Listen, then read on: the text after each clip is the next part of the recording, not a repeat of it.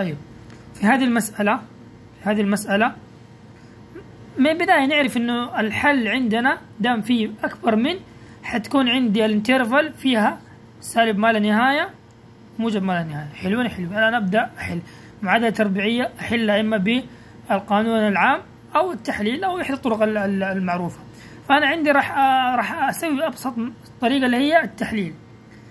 عندي 3 x تربيع القوس الأول حيكون 3 إكس والقوس الثاني إكس. لو كان عندي 4 x تربيع القوس الأول حيكون 4 إكس والقوس الثاني إكس. تمام.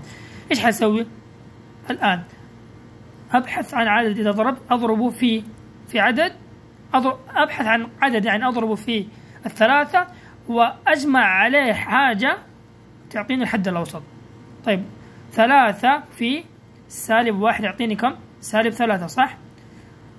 أجمع عليه كم؟ زائد اثنين يعطيني الحد الأوسط. أعيد. آخذ معامل الإكس تربيع ثلاثة. أبحث عن عدد. أضربه تمام؟ يعطيني سالب ثلاثة.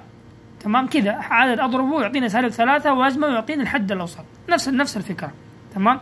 ثلاثة في سالب واحد يعطيني سالب ثلاثة. أجمع عليه اثنين يعطيني سالب واحد. تمام؟ وأكبر من الصفر.